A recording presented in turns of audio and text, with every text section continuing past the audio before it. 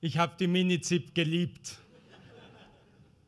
Aber es war viel mehr, was ich von daheim, von meiner Familie mitgenommen habe. In unserer Familie hat es so wie in allen Familien einmal Hoch und Tiefs gegeben. Aber das Wichtigste, was ich immer gespürt habe bei uns daheim, wir sind füreinander da und wir halten zusammen. Und das ist das, was ich mir in unserer sozialdemokratischen Familie wünsche. Sind wir füreinander da, halten wir zusammen und arbeiten wir für die Steirerinnen und Steirer.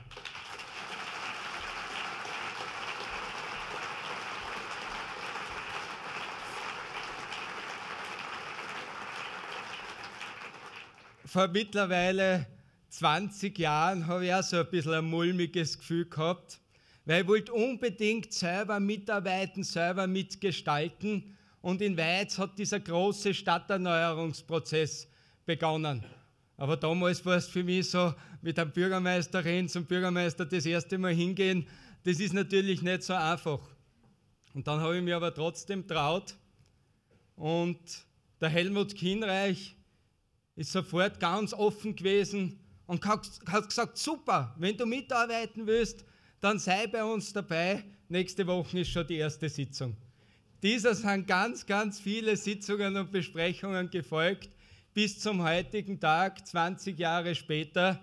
Aber was damals so wichtig war und das heute für diese Bewegung für essentiell, das war die Offenheit, einen, der neue Ideen einbringen will, der sie engagieren möchte, wirklich mit aufzunehmen und mitarbeiten zu lassen. Und diese Offenheit in der Diskussion, im Zugang auf die Menschen, die Aufnahme neuer Ideen, diese Offenheit müssen wir gemeinsam leben.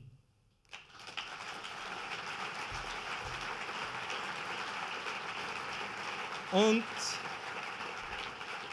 das Dritte, was ihr in diesem Film gesehen habt, waren ganz viele motivierte, begeisterte, engagierte Menschen.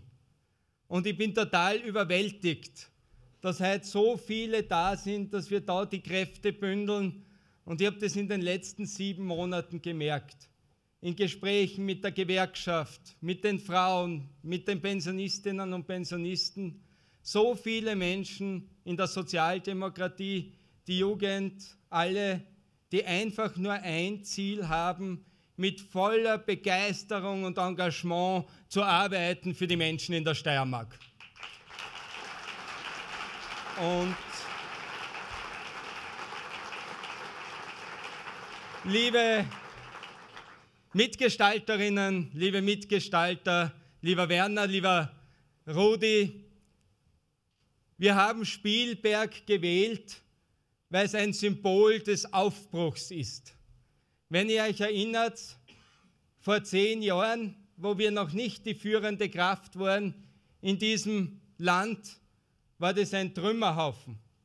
Da hast du genau gar nichts machen können. Und wenn ihr jetzt da rausschaut auf den Ring, wenn ihr das Freizeit- und Veranstaltungszentrum seht, wenn ihr darüber schaut, wie sich die Obersteiermark West als Region entwickelt hat, dann zeigt sich, was es heißt, wenn wir anpacken und arbeiten, dann entwickeln sie die Regionen. Und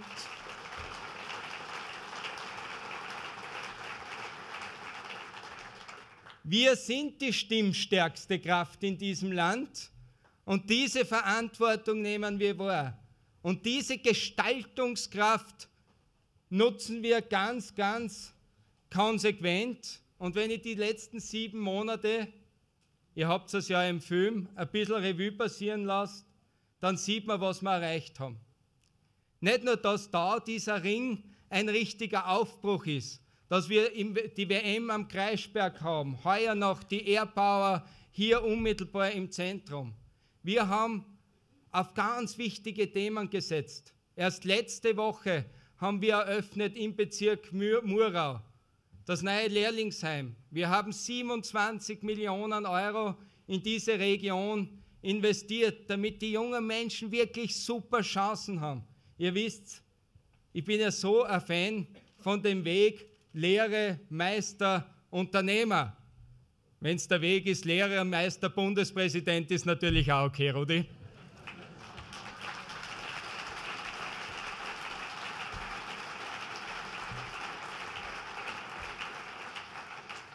Aber die Berufsschule in Mura hat auch eine ganz wichtige symbolische Bedeutung. Nicht nur, dass wir auf die jungen Leute setzen, dass wir auf die Region setzen, sondern dass wir auch gesagt haben, die Lehrlinge haben für unsere Steiermark die gleiche Bedeutung für die Forschung, für die Innovation wie die Studentinnen und Studenten. Und darum war es für uns auch selbstverständlich, dass das Lehrlingshaus in Murau die gleiche Qualität hat wie das beste Studentenheim.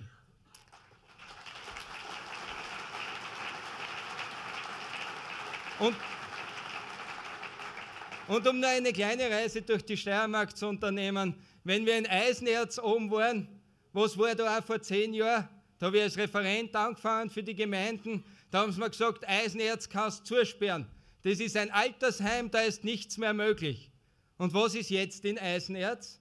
Wir werden in Eisenerz das Zentrum am Berg realisieren. Wir haben dafür schon die budgetären Mittel aufgestellt. Das heißt, im Erzberg wird neben dem, dass noch immer Erz aufgebaut wird, das modernste Tunnelsicherheitsforschungszentrum Europas entstehen. Ein gewaltiger Schub nach vorne. Und in Leoben, die Montanuniversität, die Studierendenzahlen steigen von 4000 auf 4200. Und in Eisenerz werden 300 Gästebetten jetzt neu geschaffen und eröffnet. Und das ist unsere Politik. Nicht gescheit reden, tun.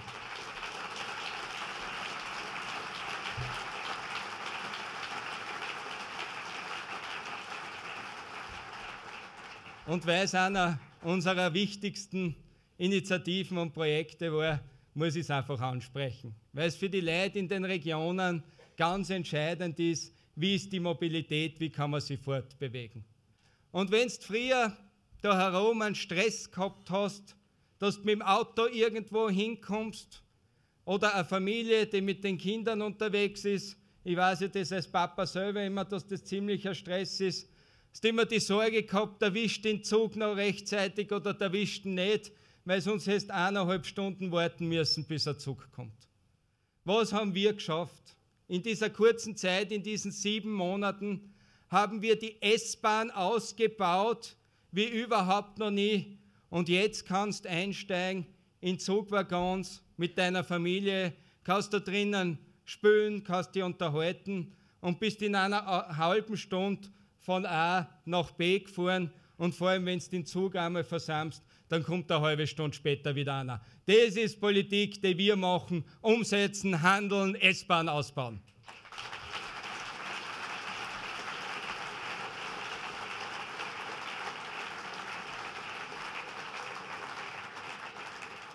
Alle Projekte würden jetzt den Rahmen sprengen, aber ich glaube, die S-Bahn, das Zentrum am Berg, die Berufsschule in Mura oben, sind gute Beispiele, wie wir umsetzen und wie wir gemeinsam handeln. Aber wir haben das immer gemacht auf einer ganz gut fundierten Basis. Wir Sozialdemokratinnen und Sozialdemokraten in der Steiermark diskutieren intensiv, dann machen wir unseren Plan und dann setzen wir um. Und das ist uns gelungen in den letzten zehn Jahren. Ihr könnt euch alle noch erinnern an den Powerplan für die Steiermark, den wir entwickelt haben und umgesetzt haben. Und ihr erlebt jetzt unseren Impulsplan, der eins zu eins umgesetzt worden ist im Regierungsprogramm. Und wenn wir ein bisschen darüber nachdenken, wer uns in diesen letzten zehn Jahren begleitet hat, wenn ihr darüber nachdenkt, was in den Regionen alles passiert ist, dann möchte ich an dieser Stelle Danke sagen an Franz Woves und sein Team.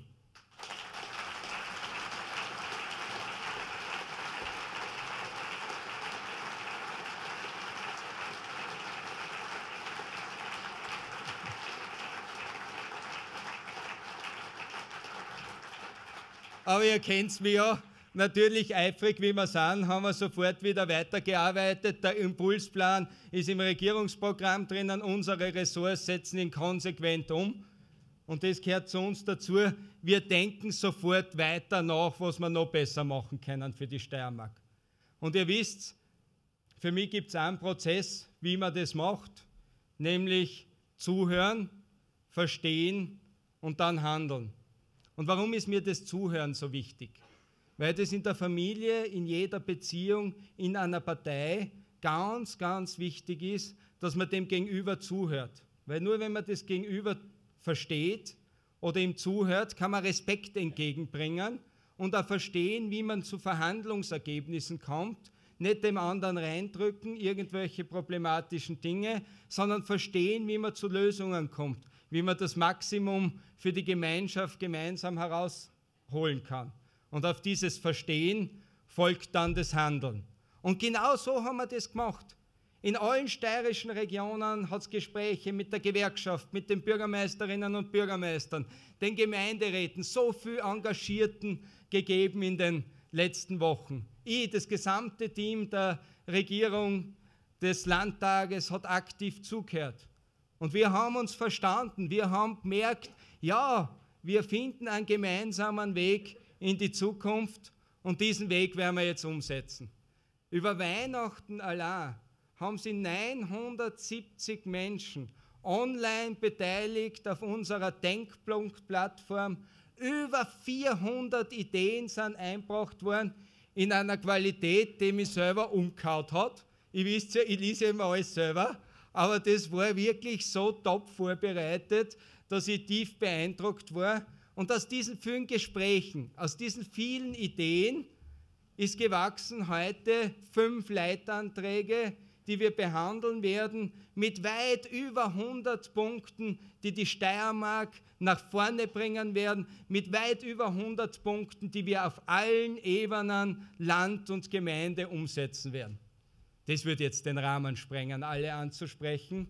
Aber ich habe aus der großen Diskussion gemerkt, da wir Sozialdemokratinnen und Sozialdemokraten aus der Steiermark kennen uns mit unseren vielen Ideen, unserem Engagement, unserer Begeisterung nicht nur auf steirischer Ebene einhauen, dass wir was weiterbringen, sondern wir kämpfen auf europäischer Ebene, auf österreichischer Ebene und auf steirischer Ebene dafür, dass sie für die Menschen viel ins Positive verändert. Und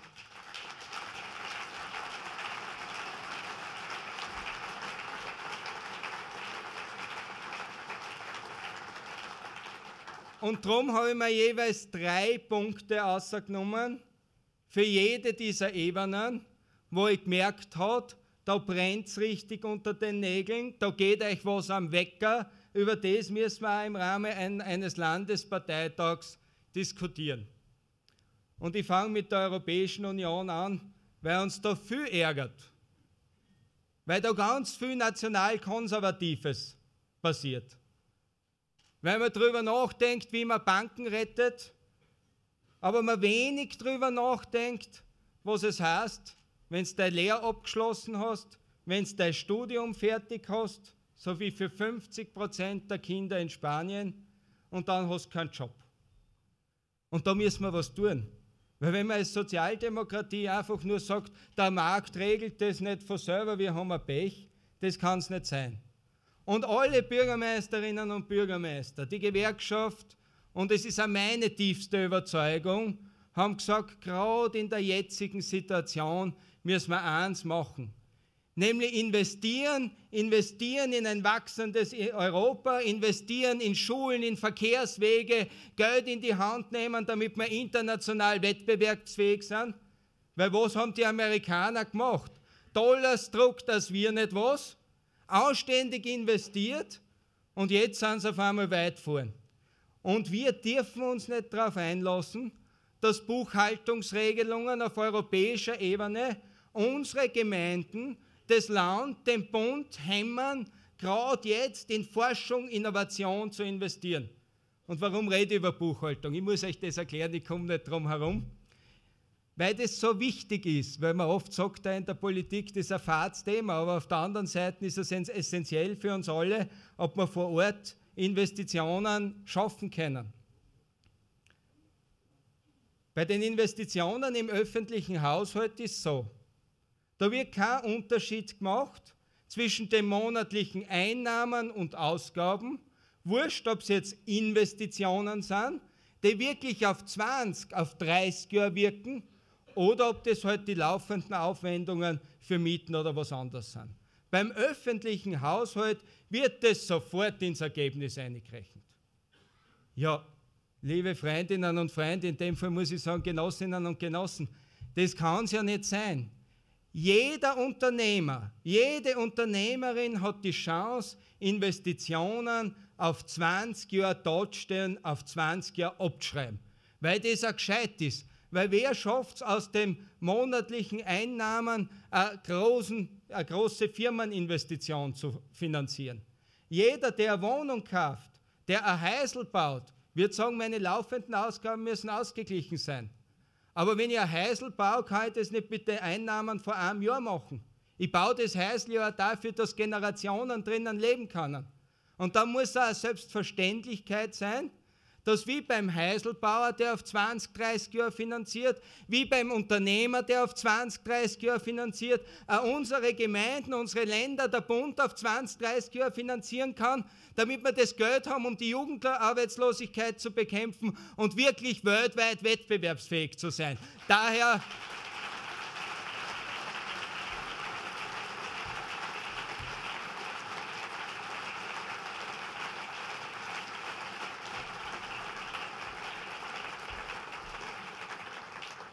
Daher weg mit dem Maastricht-Blocker in der derzeitigen Form und kämpfen wir für Wachstum und Beschäftigung in Europa.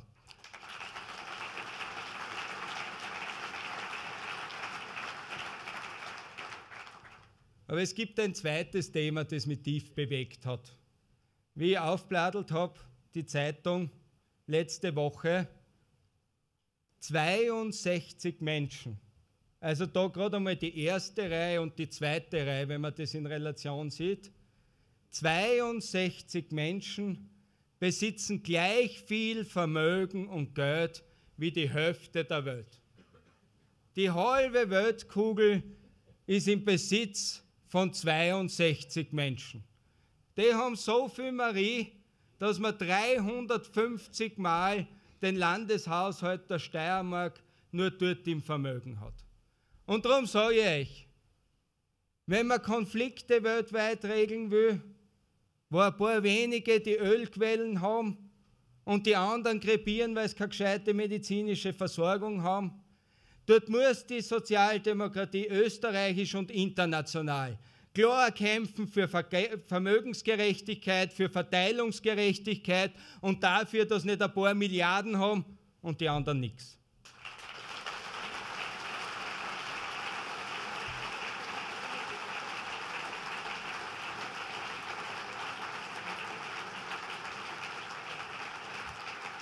Und da zipft es mich nämlich auch so an. Weil die kleinen Unternehmer, die tun wir in vielen Bereichen segieren. Da kommt eine Norm nach der anderen. A, B, C, D, was man alles bei den Lebensmitteln kennzeichnen muss. Jetzt zuletzt ist darum gegangen, wie norme ich am besten am Adventkreuz die Weihnachtskerzen, wie groß ist sie, wie dick ist sie, wie hoch ist sie. Auch nur mit einem Zweck, dass man die Industrie fördern kann und nicht die Regionen, die vielfältig sind. Und darum sage ich euch ganz offen, mir zipft es an, dass wir uns nur Gedanken darüber machen, wie wir alles Normen, Normen, Normen kennen, aber gleichzeitig zuschauen, wie ganz viele Konzerne mit der Marie abfahren, die Backeln liefern, die Backeln verschicken und produzieren. Ich meine, wenn dort steuert halt, was produziert wird oder was hingeschickt wird, das verstehe ich ja noch. Aber was machen die Backelproduzenten weltweit? Sie schicken nicht nur die Backeln, sondern sie schicken einmal die Marie um die ganze Welt und dann kommt steuerfrei wieder zurück. Und das, liebe Freundinnen und Freunde, das kann man sich nicht bieten lassen. Und wenn ich mir das anschaue, was macht Starbucks? Die machen jetzt überall klasse Kaffeeketten auf. Unsere Wirten haben da keine Chance.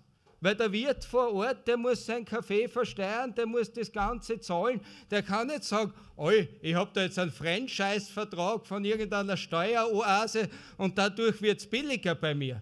Und das ist der Wahnsinn. Das, was dort passiert auf europäischer Ebene, wirkt sich gleich voll aus auf unsere Wirten, weil die nicht mehr konkurrenzfähig sind in vielen Bereichen, weil die großen internationalen Konzerne nutzen klasse ihre Steuervorteile Und unsere Kleinen wird die kämpfen, wo es irgendwo geht, werden mit einer Norm nach der anderen belastet. Und darum sage ich euch, bekämpfen wir gemeinsam den Fluch der Steuerflucht.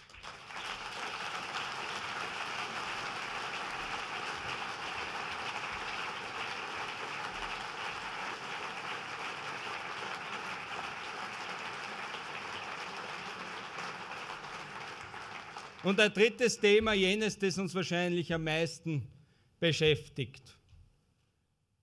Da gibt es ja Menschen, Kandidaten, die sagen, über der Verfassung steht Gott.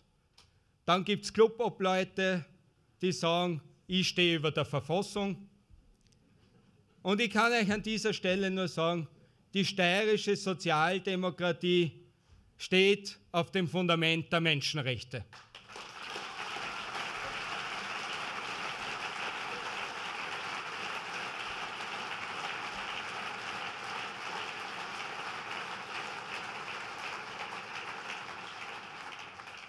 Und die Diskussion zur Flüchtlingssituation ist wie überall ganz unterschiedlich in unserer Bewegung diskutiert worden. Ich glaube, wir müssen immer die Bilder im Kopf haben, was der Ursprung ist. Wenn du dort unten in Syrien bist, keine gescheite medizinische Versorgung, kein Essen hast, aber dann vor allem auch an Leib und Leben bedroht ist, was es heißt, wenn du Sorge haben musst, dass deine Frau vergewaltigt wird, noch schlimmer, dass die Kinder vergewaltigt werden oder dass das Dorf eingenommen wird und irgendeiner schneidet den Schädel aber. Das ist die Grundlage, das ist das Problem dort unten. Und was passiert? Die flüchten natürlich. Wer würde es anders machen? Einmal in die Nachbarstaaten, in den Libanon, 1,5 Millionen Menschen, wo dann achte zusammen wohnen in einer kleinen Einzimmerwohnung, schlecht ausgestattet. Einige haben sie im ORF ja gesehen, nicht ausreichend medizinische Versorgung, auch dort nichts zum Essen. Ein paar schaffen es weiter in Richtung der Türkei, dort sind schon zwei Millionen. Und eins muss ich euch schon sagen, und da kommen wir wieder dem im Kopf, die 62 Leute, die das halbe Weltvermögen haben. Wenn wir da nicht international es schaffen, die notwendigen 15 Milliarden über alle Staaten aufzubringen, dass wir die Menschen dort wenigstens ernähren und eine medizinische Grundversorgung geben, dann werden wir die Flüchtlings- Katastrophe nicht beenden können. Wir werden aber vor allem als Sozialdemokratinnen und Sozialdemokraten unser wichtigstes Ziel nicht erreichen, die Menschenwürde für alle Menschen auf dieser Welt. Und daher investieren wir in diese Länder, damit wenigstens die Basis gewährleistet ist für die Menschen, dort zu überleben, damit sie auch dort bleiben können, wenn sie wollen.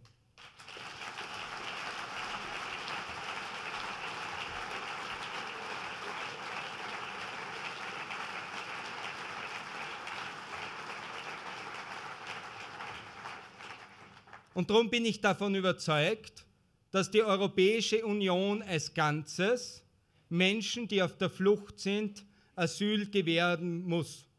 Das Asylrecht ist ein Menschenrecht und die Europäische Union als Ganzes muss dieses Menschenrecht gewährleisten. Jetzt kommen wir aber auf die andere Seite der Medaille, die wir natürlich auch sehen müssen. Auf österreichischer Ebene haben wir gemeinsam Bund, Länder, Gemeinden enormes geleistet.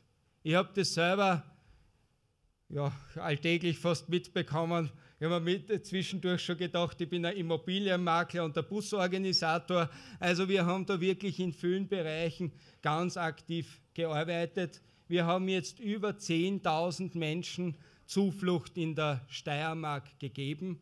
Und natürlich müssen wir jetzt ganz konsequent darauf drängen, dass nicht die Steiermark allein, Deutschland allein und Schweden allein diese Herausforderung der Flüchtlingskrise zu meistern hat.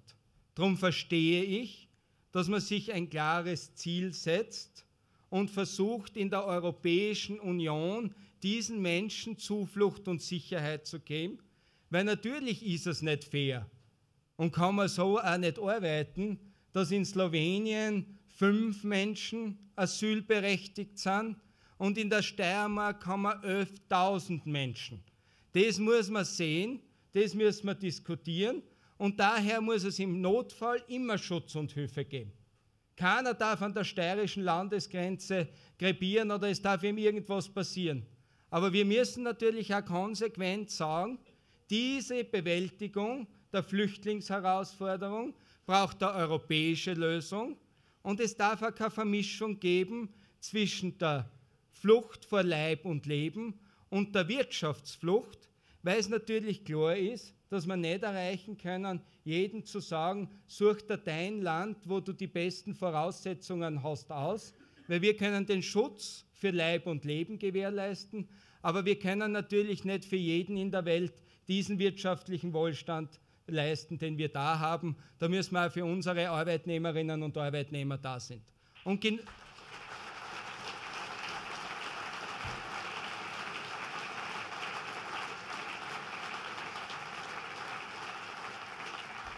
Und genau so sollte man es diskutieren. Wir haben eine gemeinsame Zielsetzung.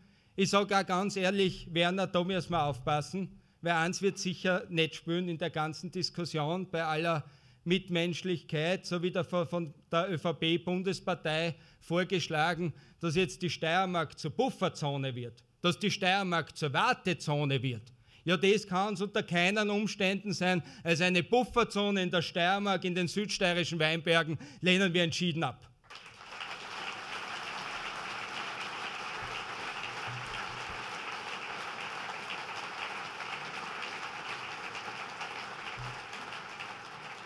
Aber wie es halt so ist, in der Steiermark, wir tun nicht nur fordern, sondern wir tun arbeiten. Und wir haben am Mittwoch gefordert einen zweiten Grenzübergang in Österreich. Und ich bin froh, dass wir diesen zweiten Grenzübergang jetzt haben, dass auch in Kärnten ein Übertritt für Menschen, die Flucht suchen, möglich sein wird und dass damit sich diese Herausforderung auf die Steiermark und Kärnten einmal aufteilt. Und ich glaube, das ist sinnvoll. Wir müssen alles machen, um zu helfen, aber die Steiermark muss auch entsprechend ihrer Kapazitäten berücksichtigt werden. Und daher danke für den zweiten Grenzübergang, der war notwendig.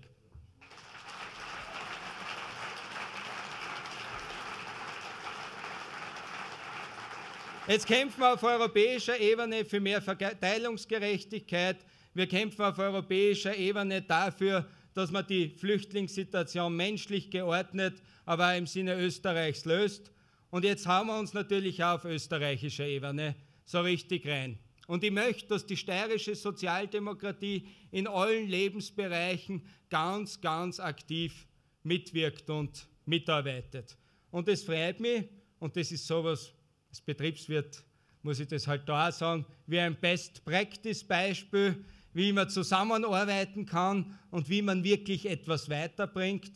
Bei der Steuerreform ist die Gewerkschaft, ist die Sozialdemokratie gemeinsam mit über 900.000 Menschen gemeinsam gezogen. Wir haben die Kräfte gebündelt und wir haben diese Steuerreform umgesetzt.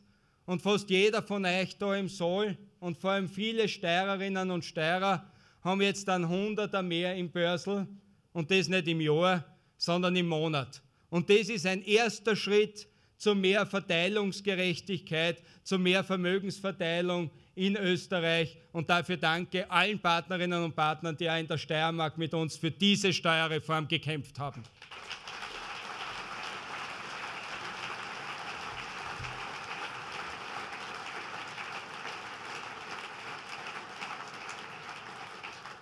Und wir werden wahrscheinlich noch die eine oder andere Diskussion mit der Bundespartei haben, aber ich möchte heute die vielen positiven Aspekte in den Vordergrund stellen, die wir erreicht haben. Es ist nämlich nicht nur die Steuerreform, sondern ein zweites ganz wichtiges, wo wir für die Menschen wirklich was umgesetzt haben und erreicht haben. Ihr wisst, ich bin Papa von zwei Kindern. Die Minna ist jetzt sechs, der Vincent ist vier Jahre und daher ist es natürlich auch aus persönlichem Antrieb für mich ganz, ganz wichtig, dass unsere Kinder in der Steiermark den besten Startplatz für ihr Leben haben. Und wir haben gemeinsam mit der Bundesregierung in der Steiermark 4000 Kinderbildungs- und Betreuungsplätze in zwei Jahren geschaffen und umgesetzt. Gemeinsam mit den Gemeinden haben wir damit die Lebenssituation für so viele Kinder, Eltern verbessert in der Steiermark. Und weil wir heute da sind im Föstalpine Wing, wir haben auch in der Föstalpine in Leoben einen Kindergarten errichtet, der alle Stückeln spielt mit großen Freiflächen, mit großen Spülflächen. Aber es ist vor allem eins gelungen. Da haben wir uns in der Steiermark dafür so richtig reinkaut, dass man diese Kinderbildungs- und Betreuungsplätze auch gemeinsam mit den Firmen schaffen und gründen kann, weil man jetzt die tolle Situation hat, so wie in Leoben, was sich alle Eltern wünschen. Ich kann während dem Mittagessen umgehen zu meinem Kind, kann mein Kind besuchen, kann mit meinem Kind Zeit verbringen, habe es wirklich unmittelbar in der Nähe und habe hervorragende Voraussetzungen. Also ich glaube, da haben wir was geschaffen, das den Menschen wirklich Lebensqualität geben wird, das sie nach vorne bringt und vor allem das unseren Kindern den besten Startplatz gibt. Also 4000 Plätze für die Steiermark, danke, so sollte man weiterarbeiten.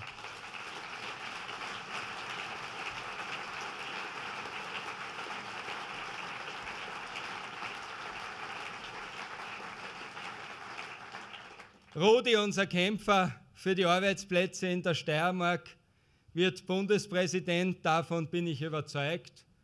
Ich möchte ihm danken dafür, dass er wirklich immer da war, wenn man ihn gebraucht hat. Ich kann mich noch erinnern, vor acht Jahren mittlerweile, wie die Wirtschaftskrise am Höhepunkt war, wie wir alle gezittert haben um Arbeitsplätze, auch in meiner eigenen Familie, wie wird es weitergehen. Der Rudi, der Siege gemeinsam haben sie alle miteinander was überlegt, was können wir machen. Und wir haben diese tollen Kurzarbeitsmodelle entwickelt. Damit haben ganz viele Familien Hoffnung und Zuversicht gehabt.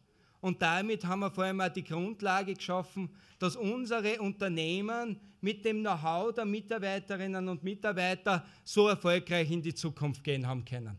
Und jetzt zuletzt bei der Magna wo die Aufträge ein bisschen zurückgegangen sind, war der Rudi sofort zur Stelle, gemeinsam mit der Doris, mit der Gewerkschaft, mit dem Betriebsrat, mit dem AMS.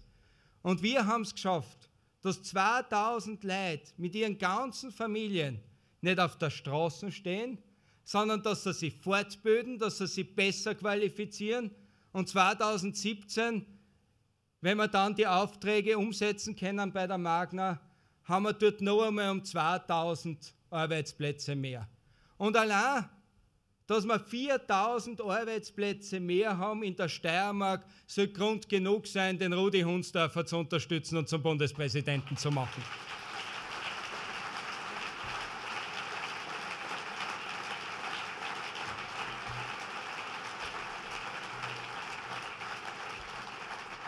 Aber ihr merkt, es steht natürlich immer die Verbindung zwischen Bund und Land dann her bei den bundesrelevanten Themen. Und dass du Bundespräsident wirst, hat natürlich auch eine Umbildung in der Bundesregierung zur Folge.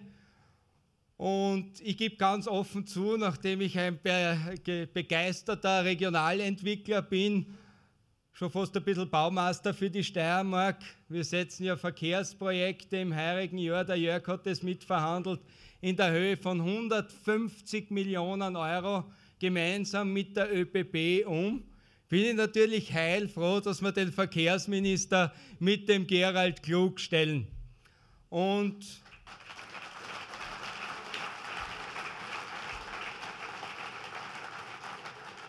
wie es halt so ist, haben wir Steirer natürlich auch immer gewisse Vorgaben, was wir uns dann von Wien erwarten, insbesondere dann, wenn er Steirer in der Bundesregierung ist. Und für uns ganz wichtig, neben dem S-Bahn-Ausbau, damit wir wirklich ein starker Standort sein können, ist, dass wir an die internationalen, an die weltweiten Verkehrsachsen gut angebunden sind, damit wir da Betriebe gründen können und Arbeitsplätze schaffen. Und eine ganz zentrale Zielsetzung dabei ist die sogenannte Baltik-Adriatische Linie. Also oben von Danzig über Warschau durchaus zu uns nach Triest und weiter dann bis Gibraltar und in die Welt hinaus. Dafür brauchen wir so schnell wie möglich und alle Startschüsse sind ja gegeben, den Choralm und den Semmering-Tunnel und bauen wir diese Achse auf, Gerald. Das ist die Zielsetzung für 2018.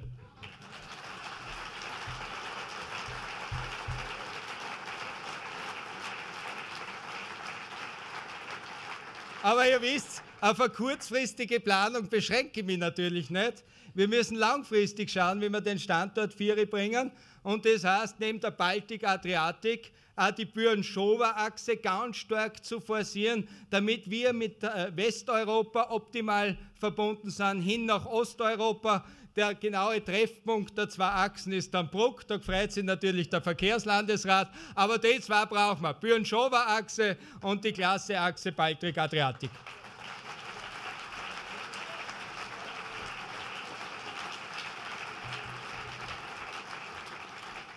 Ja, und ihr wisst, die Regionen sind meine Leidenschaft und wir wollen junge Leute in den Regionen halten. Und was braucht es dafür? Natürlich ein Computerkastel, das schnell funktioniert. Wenn heute ein junger Mensch oder ein Erwachsener den Computer einschaltet, dann möchte er nicht warten bei einem Download von einem Dokument 10 Minuten, 15 Minuten, dann wird der Standort unattraktiv.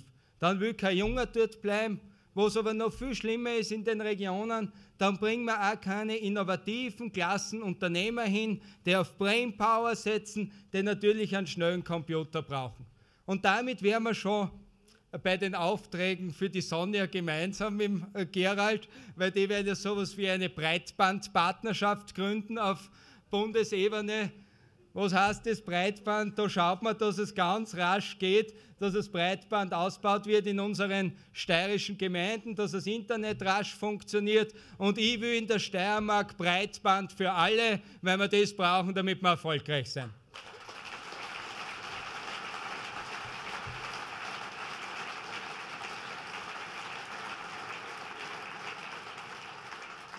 Und wenn wir ein paar BZ dazugeben müssen, dann werden wir das auch machen, damit die roten Gemeinden möglichst rasch vorwärts kommen.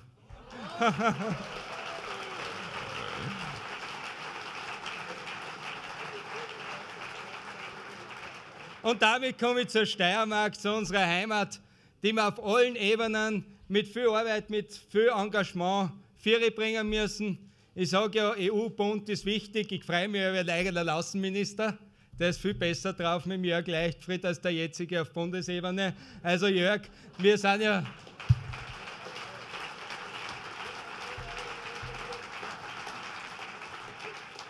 Also erstmals, dass einer einen Parteivorsitzenden Stellvertreter hat, der locker unterwegs ist als Außenminister. Und ich sage euch, die ganzen Punkte, die ich jetzt angesprochen habe, werden wir am 2. März auch schon mit dem Schulz, mit dem EU-Parlamentspräsidenten besprechen, weil wir lassen nicht die großen Firmen Lobbying machen. Wir machen Lobbying für die Steiermark.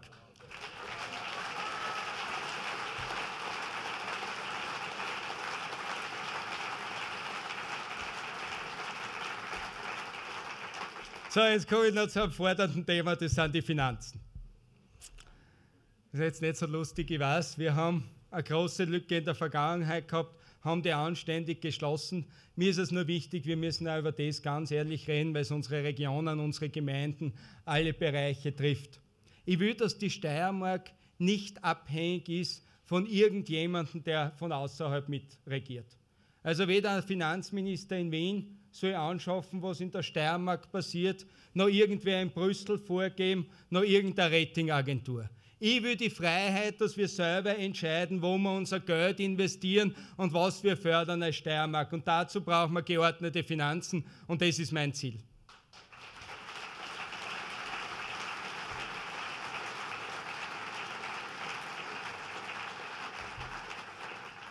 Nur das werden wir ganz anders aufsetzen wie sonst in Österreich oder in vielen anderen Bereichen. Ich komme nicht her und lege ein Budget, vor und lasse dann demonstrieren und sage, friss oder stirb. Ich möchte diese Budgetpolitik und die nächsten sechs Monate dazu nutzen, dass wir in all unseren Bereichen richtig stark darüber nachdenken, was brauchen die Leute wirklich, was brauchen die Regionen wirklich und wie setzen wir dort das Geld ein, damit es den Menschen bestmöglich nutzt weil dort müssen wir die Leistungen aufrechterhalten, für die Menschen sind wir da. Den Förderdschungel in vielen anderen Bereichen, wo welche profitieren, wo wir gar nicht unbedingt wollen, dass sie profitieren, dort werden wir einsparen.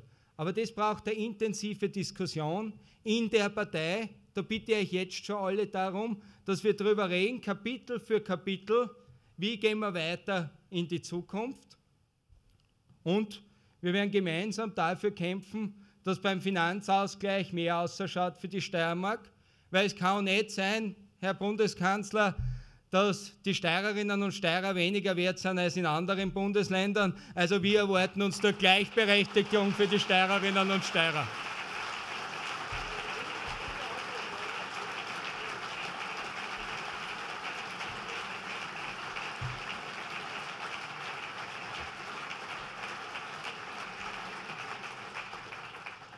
Das war der wichtigste Applaus des Bundeskanzlers an diesem Abend, weil da müssen wir wirklich was weiterbringen und an diesem Tag. Wir kämpfen Seite an Seite mit den Gemeinden. Für mich ist klar, wir müssen auch die ganze BZ-Vergabe ein bisschen einfacher machen, weil ich kann nicht auf der anderen Seite sagen, man soll sparsam arbeiten, möglichst Überschüsse produzieren und damit bauen und dann gebe ich euch Richtlinien vor, wo ihr Darlehen aufnehmen müsst, damit ihr das Geld abholen könnt. Das heißt, für mich ist sonnenklar, wir werden das Geld, was den Gemeinden kehrt, schauen, dass ihr es möglichst einfach, unkompliziert abholen könnt und damit in der Steiermark investieren könnt.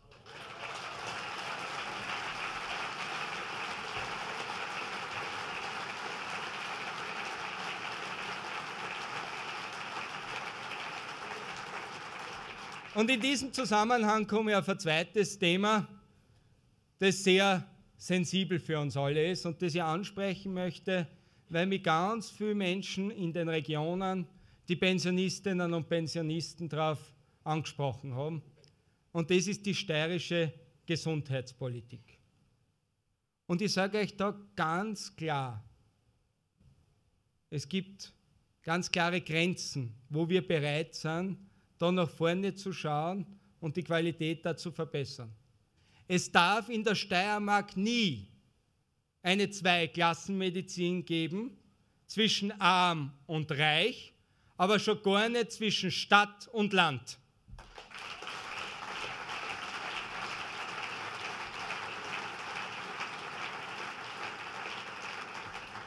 Und dort werden wir darüber reden, was ist für die Menschen wirklich wichtig.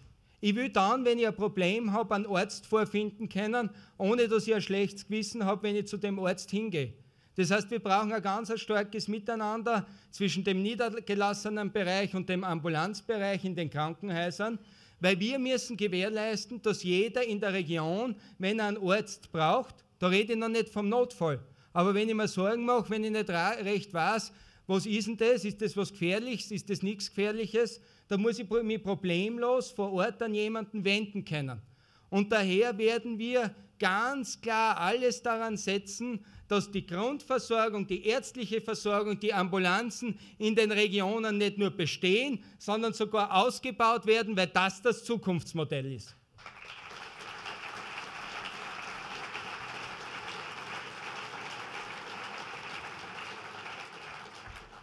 Und die Notversorgung muss sowieso überall gewährleistet sein, weil das ist Grundaufgabe der Sozialdemokratie.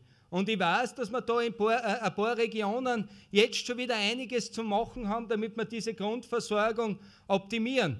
Aber Rettung, Notarzt muss überall rasch vor Ort sein. Und wenn wir ein paar Hubschrauber zusätzlich brauchen, brauchen wir ein paar Hubschrauber zusätzlich. Aber das muss gewährleistet sein.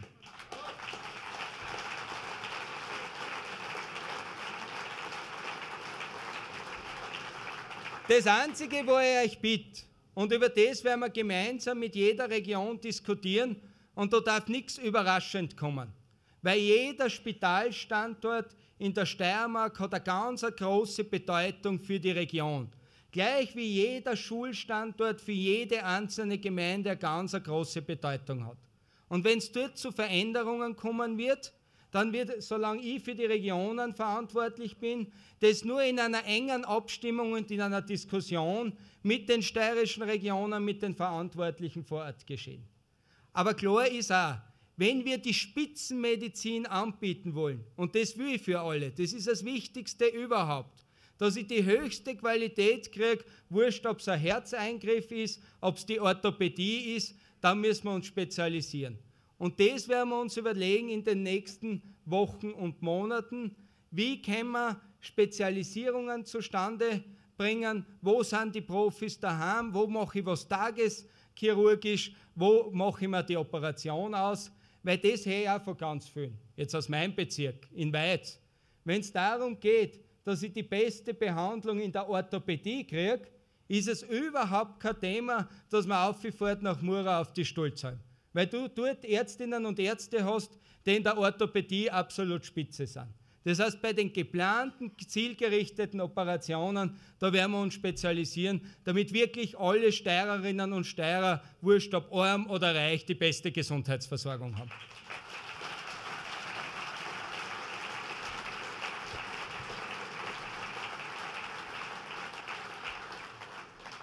Und ihr wisst, mein Herz gehört den steirischen Regionen, den Gemeinden der Regionalentwicklung. Und wir haben uns vorgenommen, 300 Millionen für die steirischen Regionen zur Verfügung zu stellen. Und mir taugt Die ersten 100 Millionen mit allen Programmen, Smart Cities, Leader, haben wir schon auf Schiene gebracht und in der Steiermark wird schon baut. Und so soll es sein. Die ersten 100 Millionen werden investiert und wir sind gut unterwegs.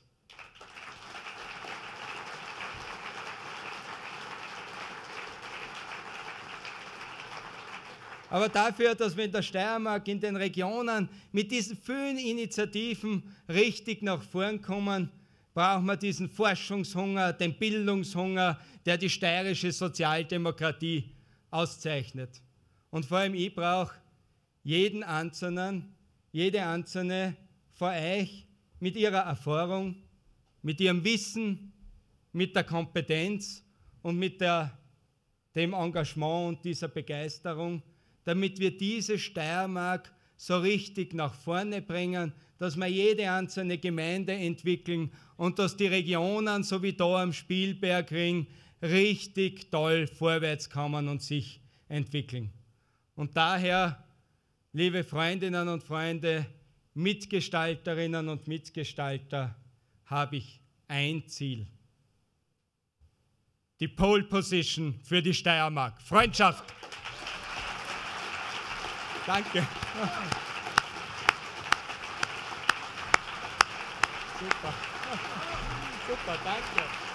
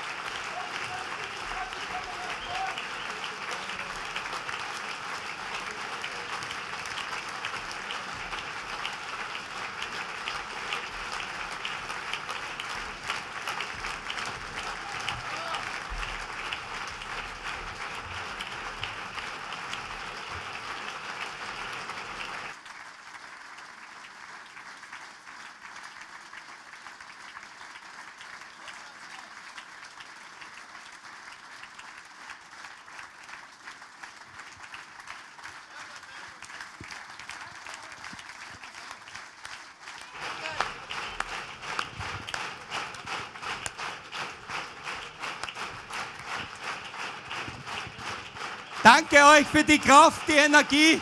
Ihr seid spitze, wir sind super unterwegs und wir werden als Sozialdemokratie dieses Land gestalten und prägen. Danke, danke, Freundschaft.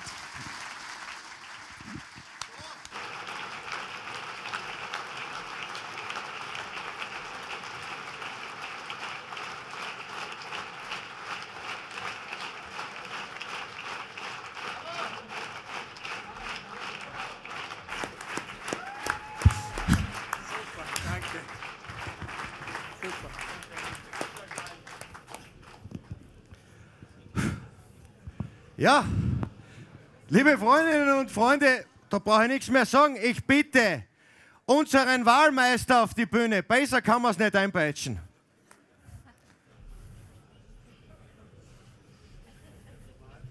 Ja, liebe Freunde, wir haben eindrucksvoll gesehen,